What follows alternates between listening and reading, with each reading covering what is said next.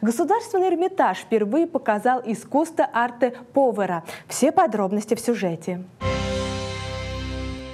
Эрмитаж впервые показывает бедное искусство, которое стало настоящим брендом в Италии 20-го столетия. Критика коммерциализации искусства, отказ от традиционных форм, своеобразный гимн свободе творчества и природе. Все это арте повера, творческий прорыв. Искусство арте повера зародилось на севере Италии на рубеже 60-70-х годов. Впоследствии это течение утвердилось как новая художественная эстетика в европейском искусстве.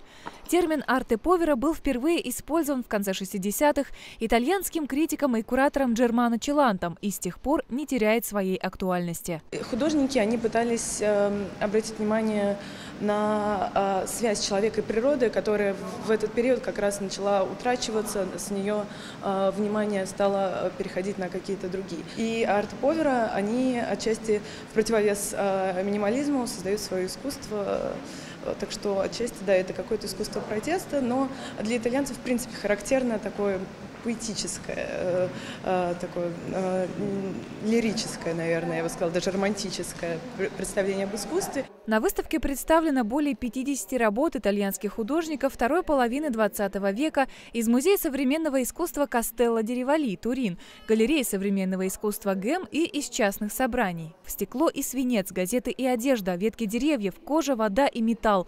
Художники арты Повера настроены освободить искусство от оков традиционализма, приглашая приглашая зрителей в немой диалог к размышлению над течением времени, его переменами, а также над тем, что есть сама жизнь.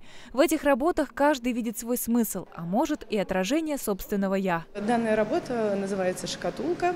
А, это несколько э, десятков кожаных панелей, которые были художником обернуты вокруг дерева, имитируя кору его и э, удваивая защитную оболочку, которая является кора для дерева и как бы кожа для животного. А в центре находится такая шкатулка, которая сделана из э, э, имитации ствола дерева и в которой застывшая э, смола, как такой некий сок жизни. Внешне необычное искусство арте-повера обладает одновременно и зрительной легкостью и определенностью. В небольшом фонтане, где вода тихо льется из центра восковой скрипки, выражена сила стихий, победа жизни над смертью, торжество природы над урбанизацией. Анна Федорова, Антон Антипин, Новости ТБН.